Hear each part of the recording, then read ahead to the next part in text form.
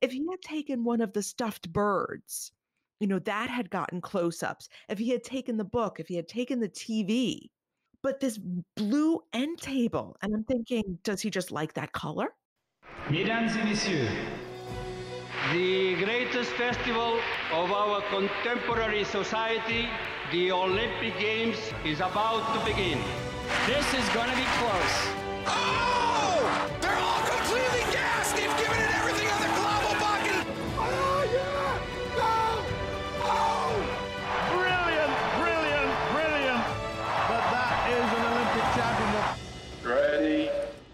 Hello, fans of TKFLASTAN, and welcome to another episode of Keep the Flame Alive, the podcast for fans of the Olympics and Paralympics. I am your host, Jill Jaracz, joined as always by my lovely co host, Alison Brown. Alison, hello, how are you today?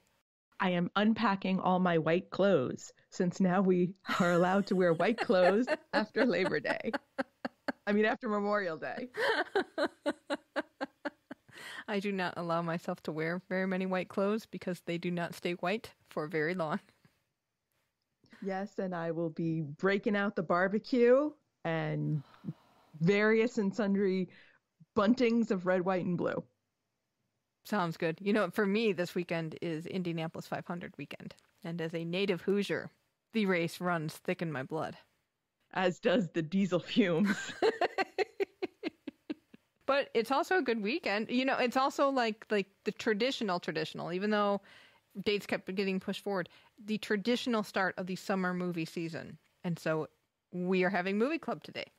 Film Club Fran is back to discuss Foxcatcher, the movie based on the book that we read for our most recent book club, the uh, Mark Schultz story of how uh, John DuPont uh, murdered his brother Dave. And uh, it stars Steve Carell as John DuPont and Channing Tatum as Mark Schultz and Mark Ruffalo as Dave Schultz. Take a listen to our conversation. Movie Club. Fran, welcome back. We're talking Foxcatcher. What do you have for us? Well, today we are going to talk about Foxcatcher, which came out in 2014, and it stars Steve Carell as John DuPont, an eccentric uh, millionaire, and Channing Tatum and Mark Ruffalo are a pair of brothers who are wrestlers. It is based on a true story of the two brothers who um, are Olympians. They're gold medalists uh, from Los Angeles in 1984 in freestyle wrestling. And it's the story of how these two brothers became associated with John DuPont, who is a millionaire. So, spoiler alert, um, unfortunately, you know, after the two brothers associated with Mr. DuPont, in the end, Mr. DuPont ended up killing Dave Schultz, which is the older brother, in front of his wife and a security person uh, on the property, and he ended up going to prison uh, for the crime.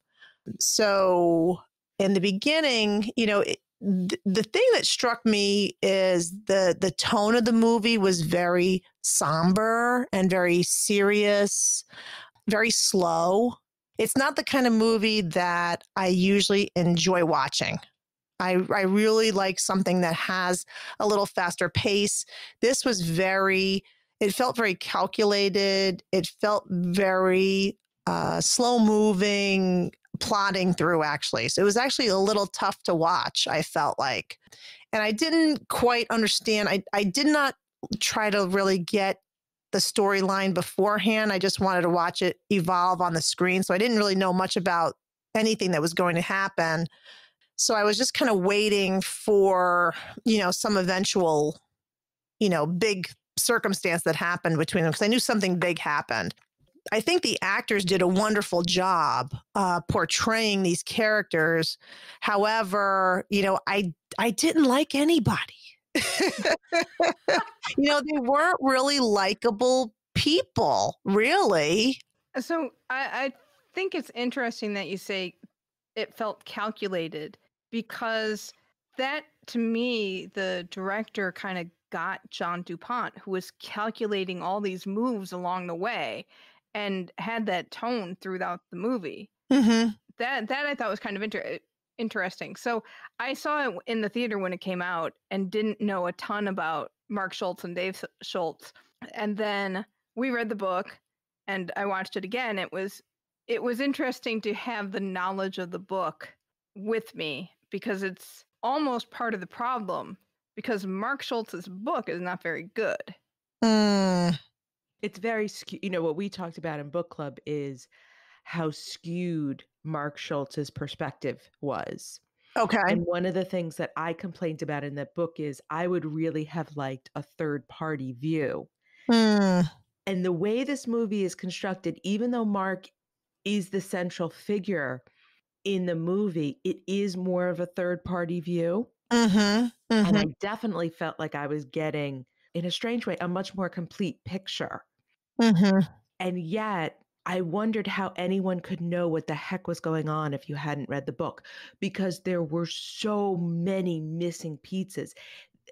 The way this movie unfolded, it was almost like a series of vignettes, Right. Mhm. Right. with like snapshots. And even they did like a fade to black Right. between sections. And I would have been confused. I remember as I was watching it, I was thinking to myself, okay, so in the book, this is where we are.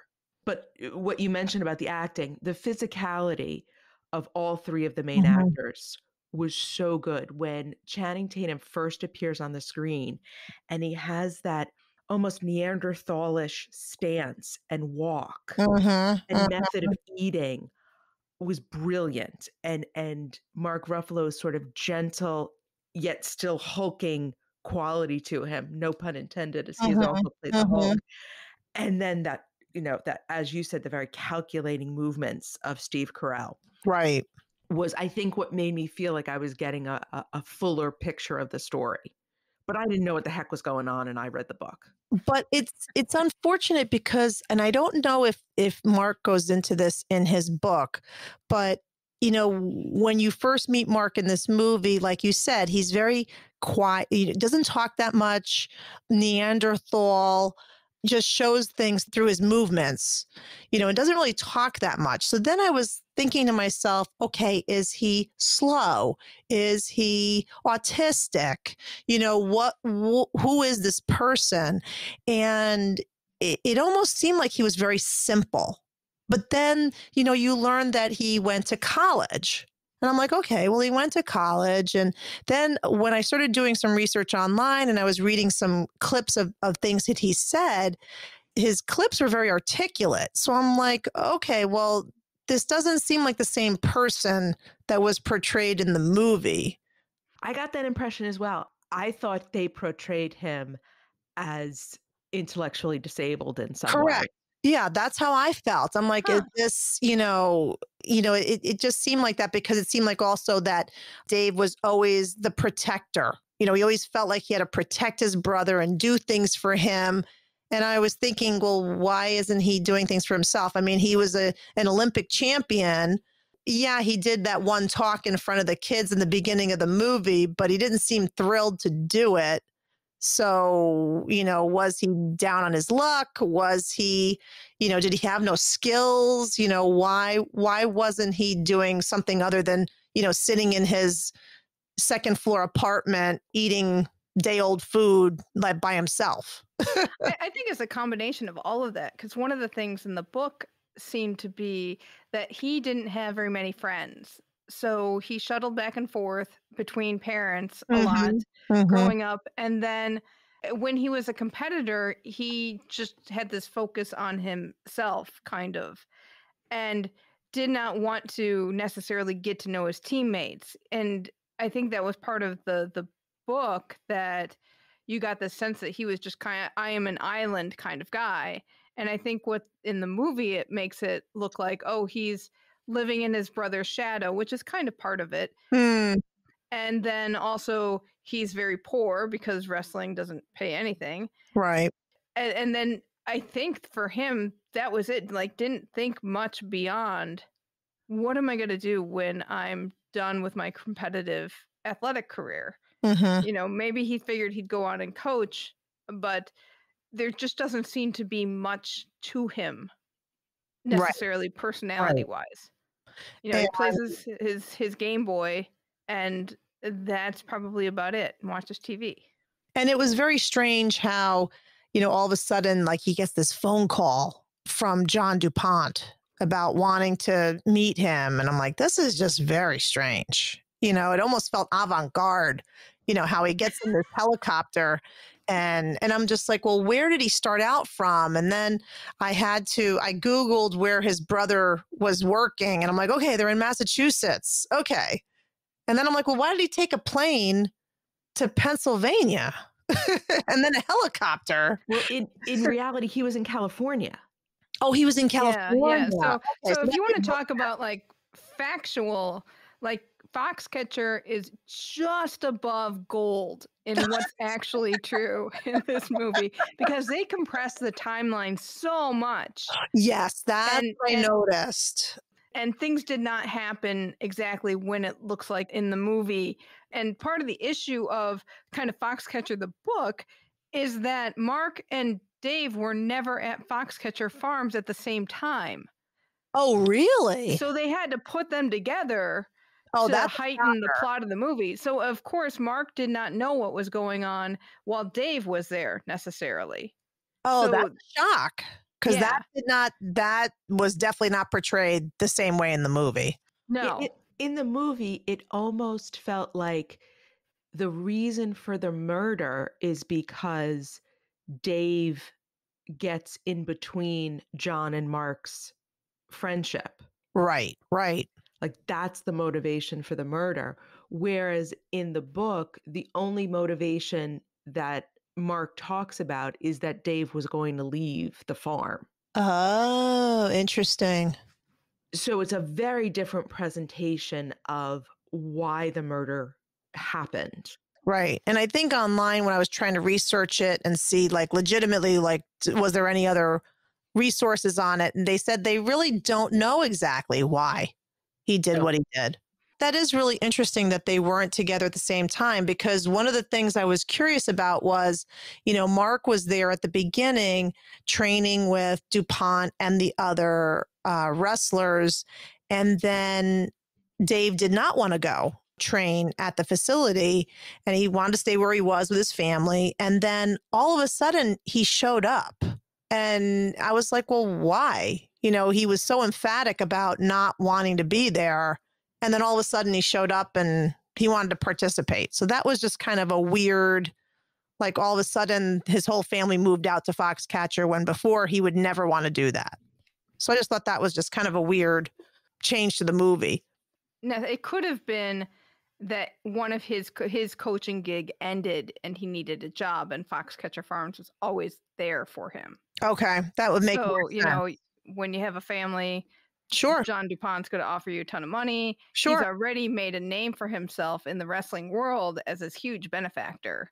hmm So you get a place to live, you get to train, you get great facilities. you Right. get- you know, it's it's worth going to. And Not he was there for years too. That's the other thing that it doesn't really seem because because Right. the timeline was so compressed. Right. You don't necessarily see all the years and Dave was going to make a comeback in wrestling and you don't see that really either.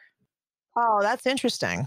Right. So the the other question of the time compression is when so Mark left Foxcatcher at the very end of 1988 and Dave comes to Foxcatcher in 89. The murder doesn't happen until 96. Mm-hmm. So his children were very, very young when he moved to Pennsylvania. So in the movie, Mark Ruffalo's Dave Schultz says, My kids are in school. I don't want to move them. Well, they weren't. Oh. They weren't really in school until they went to Pennsylvania. So, Interesting. yeah, I mean, you would have to go through a whole multiple chapters of Dave was a coach at Stanford and he had a contract and he had Mm. committed and he and Nancy had just gotten married and he didn't want so all of the and he had always lived in California Hmm. so didn't want to move but the the movie makes it seem like all of these events happen within maybe an 18 month Mm. Right. period Right. 2 years right. at most when really it was more like closer to 10 years Right. It just seemed very weird. Like the whole scenario of, you know, Mark with John. And you can see that, you know, John, they portrayed John DuPont as this eccentric very wealthy person with just weird kind of affect and just you could tell he just was not a well liked person and you know they they made a point to to talk about how you know the only person that was his friend when he was young was this other the chauffeur's kid and he, he found out later that his mother had paid him to be his friend and and i mean the way you know that he portrayed him you could see why. He was just a weirdo you know i don't know how how true to life he was but he just seemed very very odd. And then the question i had too and the way it was portrayed in the movie there almost seemed to be a little bit of a sexual tension between mark and john. And they didn't overtly you know do anything sexual but it just seemed like you just kind of had that feeling like was there this kind of almost sexual tension in the room between them? You know there was that odd scene where uh, john showed up and asked mark to wrestle and it was like middle of the night and they're in the the wrestling room in the dark going through moves and you're just going you know what the heck? You know this is just really weird yeah, and y- you may have seen that in the research you did because it's one thing that Mark Schultz didn't like. He there were times where he really liked the movie, then times where he really didn't like the movie. Mhm. And he seemed to flip back and forth on a dime too, and he did not like the sexual undertones Mhm. of a possible relationship between him and and Mhm. DuPont. And it was odd too because I was looking into just research on the people and it, it came up that John DuPont was married. Yeah, for a little while. Very short marriage. Oh, okay. So they didn't show the wife at all. And then Mark also had children and was married. So I don't know if that was just at way after this or was it during this time, but they didn't portray any kind of family life other than Dave. There was a girlfriend of Mark's during this time, but his marriage happened after he left Foxcatcher. Okay. And John DuPont's marriage was very, very short. Hmm. And his wife basically left because she felt her life was in danger. Hmm. I wonder why. Well, his mother didn't seem very loving.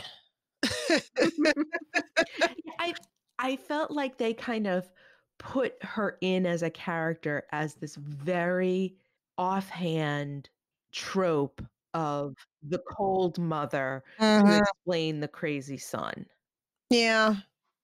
It was too bad because you just saw this classic, oh, my mom never gave me any attention and love and I'm I just wanted to prove myself to her and uh, but I hate her at the same time. Right. And and she- calls wrestling a low sport. Oh, know, that was so don't bad. be involved in such a low sport, John. But they but it was Mhm. interesting because all the research in it and in the movie it kind of show, well sort of shows this too a little bit, but it said that he really didn't go kind of a little bit more wacko until after she passed. So they said that he had some men- they believed he had some mental illness, but it really was only when she passed away that he started to be even really more, you know, showing signs of mental breakdown.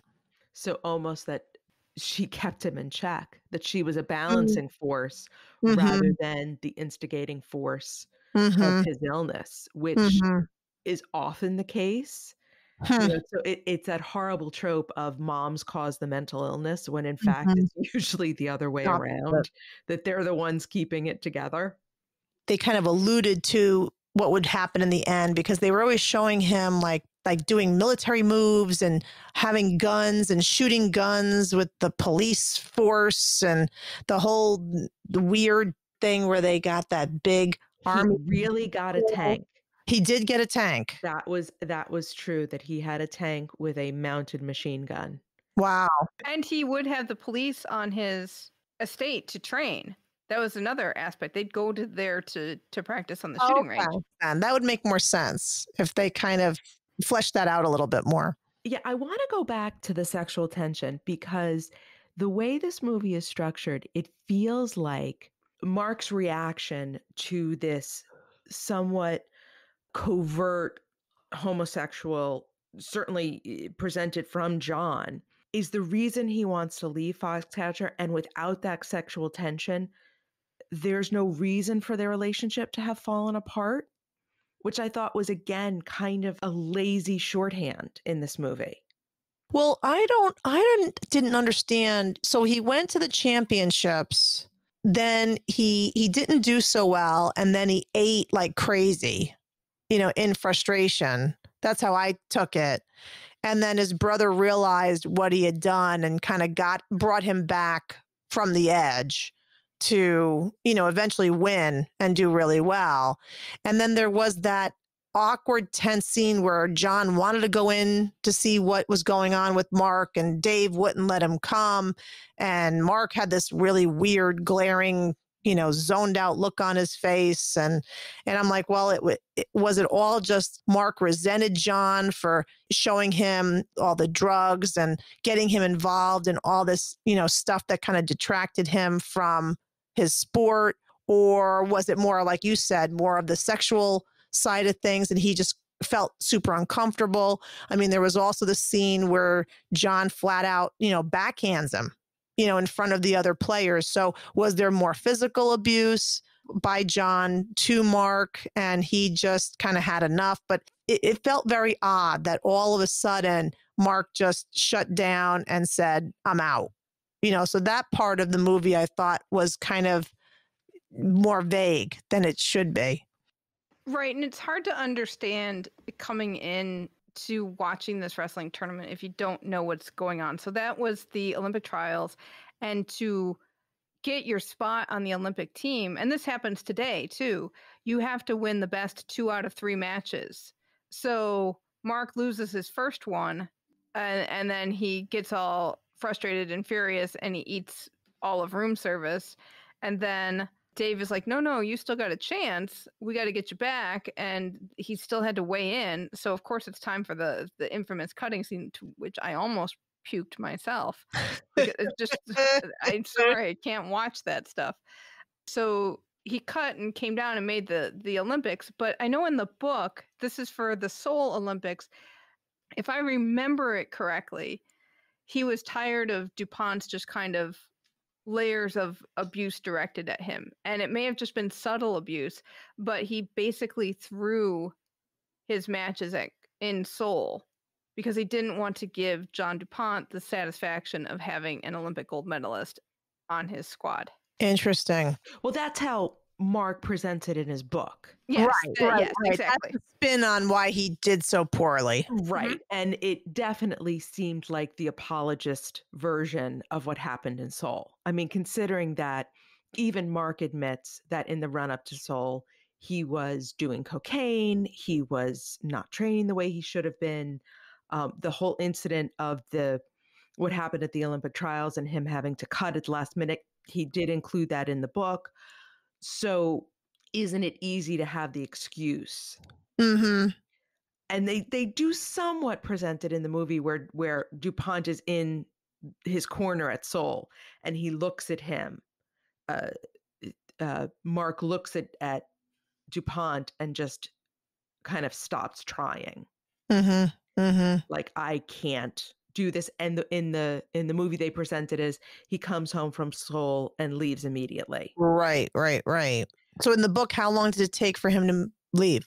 Not long. I mean, a couple of months. Okay. It wasn't long. It definitely Right, was. He came right. home from Seoul, kind of got his bearings, figured out what he was going to do next, got a um job in Utah, and left.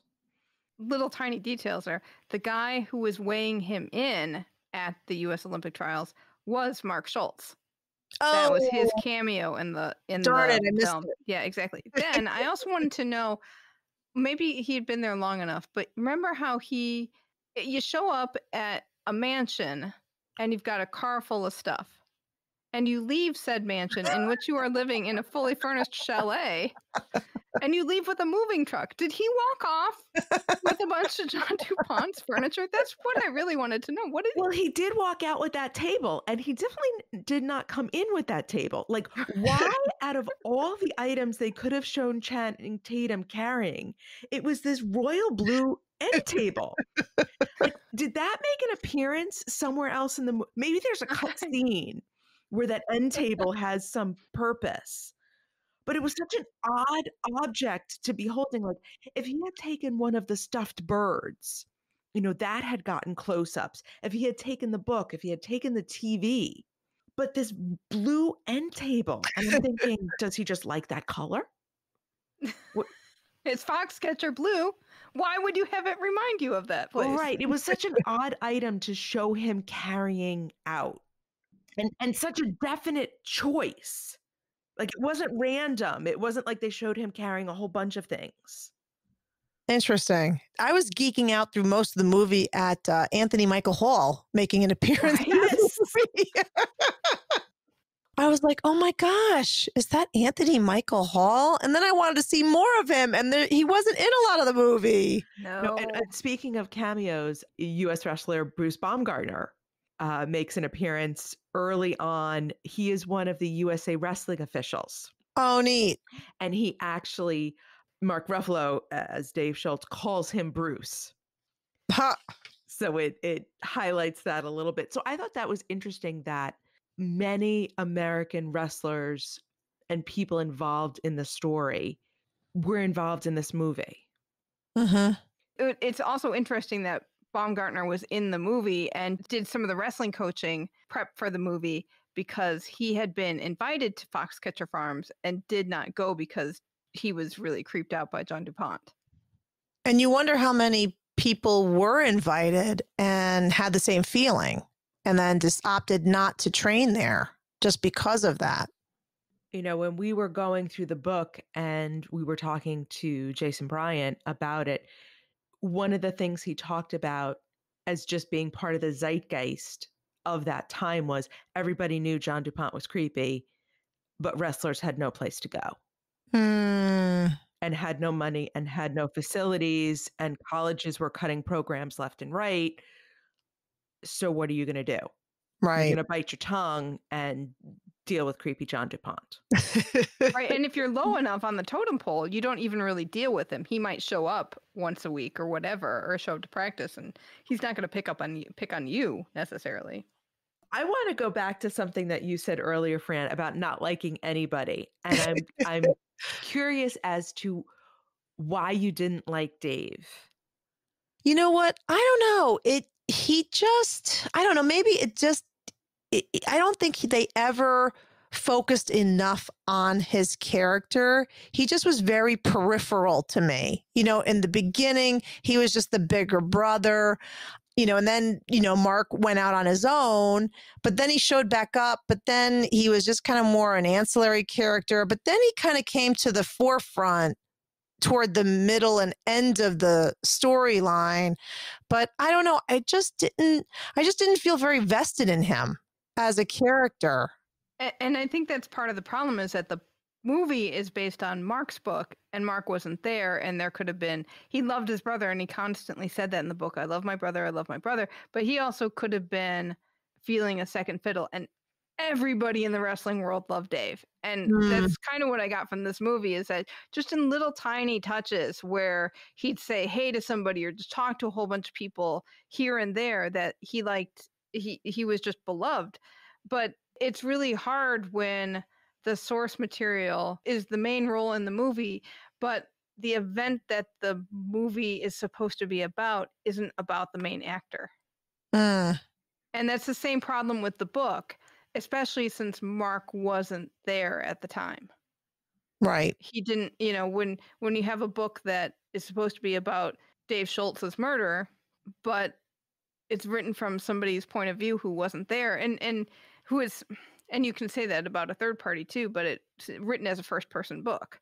Mm, So I think that for me, that's one of the issues with the movie, just because I think the source material doesn't provide what they needed. And even though the director looked at other things and interviewed other people to get a more fleshed out story, I I still think that what you're dealing with is a lead character who's not particularly interesting correct and an event that doesn't happen to the main character.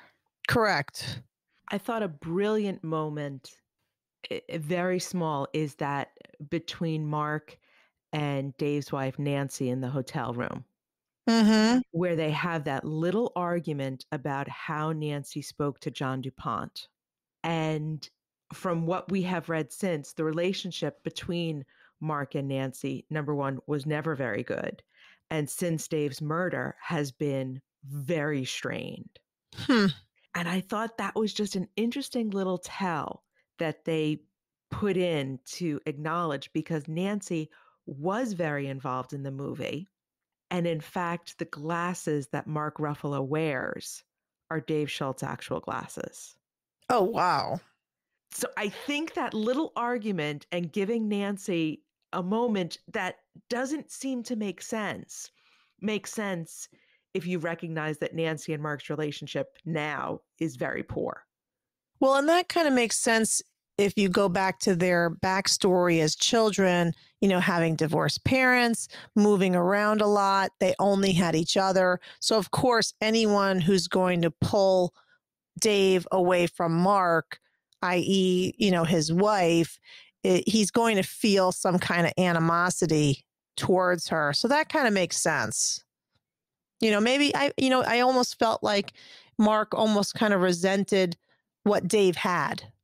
You know, he had that Mhm. loving family, he had those children, he had something to hold on to, where Mark just seemed very adrift. You know, he just didn't seem like he was comfortable, wasn't happy with his life. It seemed like he was comfortable and happy training and being with the crew at Foxcatcher, you know, doing doing the wrestling, but for the most part, he Mark just seemed like a very sad, sad character. Until he got those frosted tips. Can we talk or about the is- hair? Or as Jill texted to me, his cocaine hair. yes. And I thought it was very odd that an Olympic athlete in training for a major event would all of a sudden like choose to do drugs. Cause I'm like, wasn't there drug testing? I mean, how Yeah. I mean, how did he think that this was going to end up? You know, it just seemed very odd that he would make that choice. He could have easily said no. In the book, Mark definitely glosses over the cocaine use. Third party reporting and stories were that his cocaine use was much more serious Mhm. than what he included in the book. And I guess they sort of glossed over it in the movie because of that. I mean, the, the movie makers are hampered, as Jill was saying, by their source material. I mean, they can bring in external things, but eh, I guess getting frosted tips is like the worldwide signifier of I have a drug problem. sort of like when girls get the black eyeliner, it's like, oh, they're they they've gone bad. If boys get frosted tips, they've either joined a boy band or are taking too much cocaine. yeah, that that was it was just such an odd addition. You know, I know they had to address it in some capacity, but it just it just didn't make sense to me that a premier athlete, you know, still in his prime, still wanting still having those goals that a competitor has would not throw it away, but you know, go down a path that could potentially, you know, derail him forever. Speaking of derailed, what uh, the ending made no sense. I mean, I understand the context of the ending because we read the book, but as a movie, it was the most unsatisfying ending. Oh, completely. I wanted a trial. I wanted to see what happened afterwards. I wanted to see if like Nancy sued for for money and, you know, what happened. Yeah, we get his one Mark's one MMA fight, and yeah, Right. and and what we don't also don't see because of a compressed timeline is that there was a big standoff. I mean, John Yes. du Pont hold up hold up in his uh, his mansion for days. I mean, that would be more compelling to watch, actually.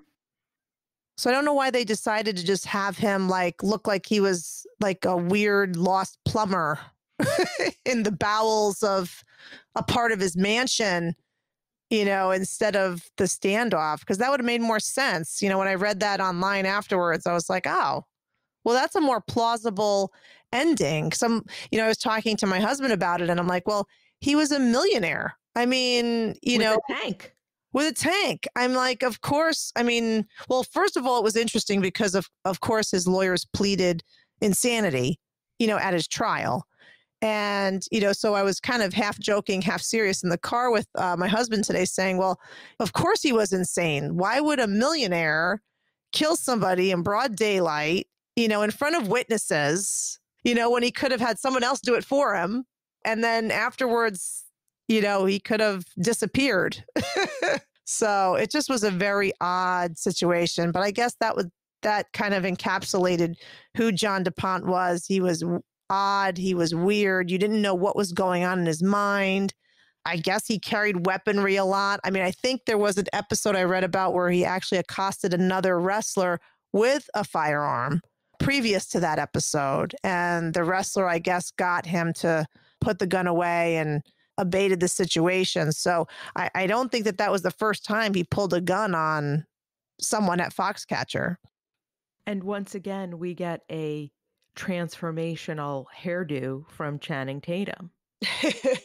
Somehow, I guess he has the redemptive bald head now at the end. I, I didn't understand any of that ending sequence where they show him going into the MMA fight with the shaved head. And yet Mhm. it was so definitive. I mean, there was nothing accidental about y- using that story and and that physicality. And yet it made no sense. It didn't make any sense. I kind of wonder what the director's cut is like. Mm, It was originally 4 hours long. no, not going to watch it. No way. You couldn't pay me. I'd rather watch more of Gold. Well, at least there we got song and dance, man. and, and the other side of the mountain, part two. You know what I thought was so interesting was how unattractive both Channing Tatum and Mark Ruffalo were in this movie. Both Right. very attract. I mean, especially Channing, Channing Tatum. I happen to be a Mark Ruffalo fan. How truly attractive they are and charismatic. Right. And in this movie, they're not. They're very flat, very flat affects. And in pictures, looking at pictures of the Schultz brothers, they were more good looking, I felt, than the way they were portrayed in the film, especially Dave. The hair and the bald spot. and the stance, their physicality was, Mm, was, was ugly. so it was ugly. apish, which I, I know a lot of wrestlers have that sort of heavy movement and slouchy movement, but it felt like, really, we're going to knuckle drag these guys? Wow. It seemed very pronounced that they came across as just almost like these dummies. You know, when I didn't feel like that really did them probably any justice. I mean, to win a gold medal, I mean, you have to be, I'm assuming, pretty intelligent and know know what you're doing, know what you're capable of, you know, have that have a fire within you. And I didn't really see any of that portrayed in the movie.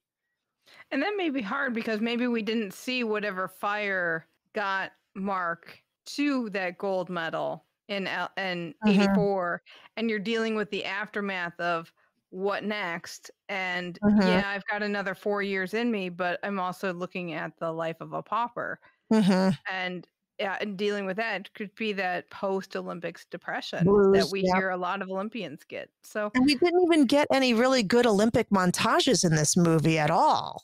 And no, No. training No montages, training really. montages. We didn't get any Olympic fanfare that we could critique and make fun of for its inconsistencies. oh I mean, to be, to be fair, you know, I, I complain about tropes, but this what did not have any. No, it didn't. No, It it didn't. tropes that we have come across on Correct. so many of the others. Right.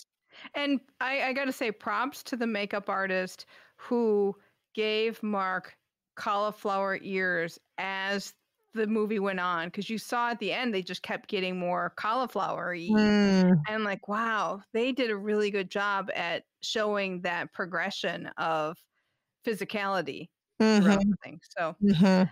I know I don't think it. Well, obviously, it's not a movie for everybody, but I, I think if you know the uh, know something about the story, it, you can bring more to your viewing experience than you get going in cold. Yeah, it would have been interesting to have read Mark's book before. No, no, it wouldn't have. Maybe somebody else's book then, perhaps. The only thing that saves this movie for me were the absolute tour de force performances.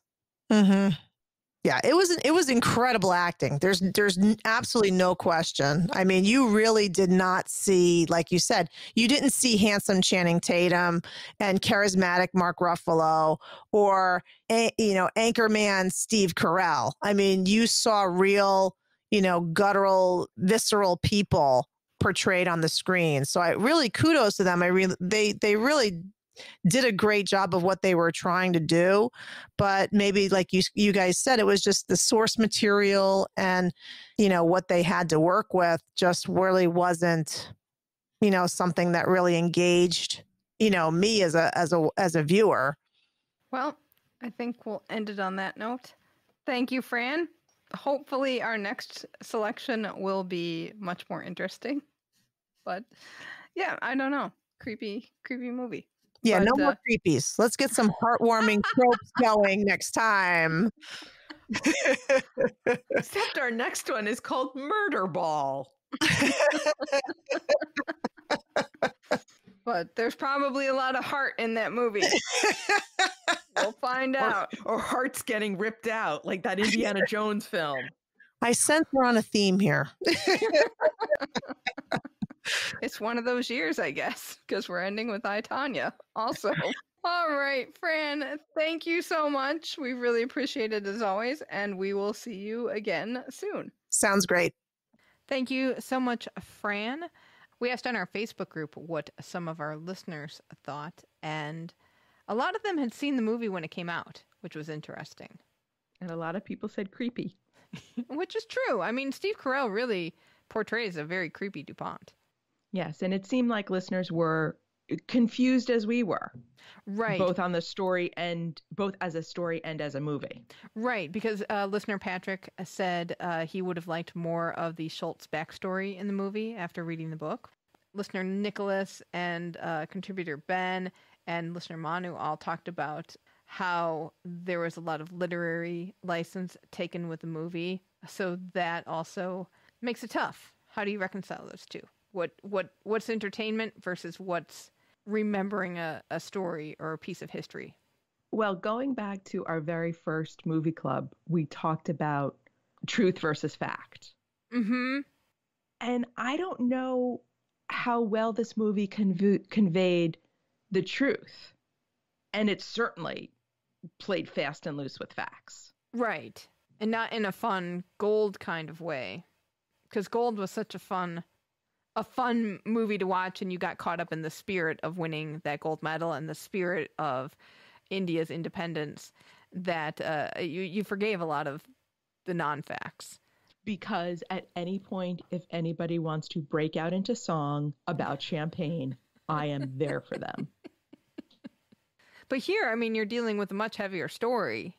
Right, that would not be appropriate. Right. Though I'm sure that Channing Tatum, with his cocaine hair, could have burst out into an interesting song. Yeah. But I'm happy to note, despite the title, I think our next movie is going to be a lot cheerier. Exactly. We are going to watch Murderball, the 2005 documentary about wheelchair rugby players vying to go to the Athens Paralympics. So we will be talking about that just ahead of the Tokyo Paralympics to help prepare you for those and get you in the mood. It's supposed to be excellent, so I am looking forward to watching it. And it is available as Prime Video in the US on Amazon. Okay, good. So if you've got that service, Right, it's easy and to find. I believe it's also on YouTube. And it's interesting. I don't know where you are, a listener, but I found that I watched Foxcatcher on an app called Tubi, T U B I, and I found that through my on demand, through my cable service, because I still have cable TV. But they, you can find these these movies uh, sometimes anywhere. Uh, we'd like to take a minute to thank our supporters. They help defray our expenses, especially in the run up to our on the ground cover coverage in Beijing, which I recently made the first of four hotel payments, which was a little that was an experience. So I'll get used to it. If you value this show and the work and the work we put in to bring it to you and have the means to support us financially, we'd appreciate your support. You can become a patron at patreon.com slash flamealivepod for an ongoing donation, or you can look for our Kickstarter coming out during the Tokyo Olympics. If finances are an issue for you, that's cool. We can you can still support us by writing reviews on your podcast app of choice, joining our Facebook group, or joining in on our conversations on Twitter and Insta, and also telling friends about the show. Thank you so much for your support. We really appreciate all of you listening every week. Join the family. Welcome to TKFLASTAN. Speaking of TKFLASTAN, it is time to check in with our team Keep the Flame Alive. Uh, at the USATF throws contest this past weekend, DeAnna Price placed third in the hammer throw. Her throw of 75.88 meters was less than one meter behind first place. Gymnast Chellsie Memmel returned to competition this weekend at the U.S. Classic.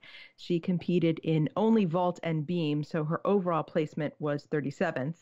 But the good news is that she petitioned USAG to compete at U.S. Nationals, and she's been accepted. So we will see her again at the end of June. It was so exciting to watch her. It Her really vault was fantastic. She had one fall on the beam, but otherwise the beam routine was beautiful. She put in all the difficulty. And Nastia Liukin, our personal friend, was very upset about her uh, beam score that she had been underscored, and I had to agree. I did too. And she was just, you could see the nerves on her face and then like some of the relief that she did what she kind of set out to do, especially in the vault. She was just so thrilled with her vault. And And that was that was a vault that was upgraded for her oh, nice. Because it, you know the gymnastics has progressed. That Mhm. was in terms of that was a world class vault is my point in current gymnastics, and it was well done. She deserves it. Laura Wilkinson recently competed at a diving meet at Northside Swim Center. It was her last tune-up before trials, which are coming up soon. All of the big the big U.S. Olympic trials are happening within the next month or so, and it's amazing. We're uh, getting also emails from Australia about all these teams that have been named, and it's so exciting. Like almost every day, we get like another team named email, and Great Britain's naming a whole bunch of teams, and all these places are coming out with their team names and I'm seeing on Twitter all these national Olympic committees are talking about their athletes who are going to be going. It's getting really exciting. And Samantha Schultz won her seventh U.S. Modern Pentathlon Championships this past weekend, and we will have a link to the replays in the show notes. So, because it is Memorial Day weekend here, we're going to make this show a little bit shorter and uh, call it a day. Get, Get kinda, that barbecue fired up. That's right. Barbecue fired up, white clothes, and for me, a bib to cover to, to, to hold that barbecue sauce. That'll do it for this week. Let us know what you think about Foxcatcher. Email us at flamealivepod at gmail.com. Call or text us at 208 352 6348. That's 208 Flame It. We're Flame Alive Pod on Twitter and Insta, and keep the Flame Alive podcast group on Facebook. Join us next week for our discussion with shot put gold medalist Michelle Carter. It was a good one. You, you will not want to miss this. So, as we go out to music by Archdale, thank you so much for listening, and until next time, keep the flame alive.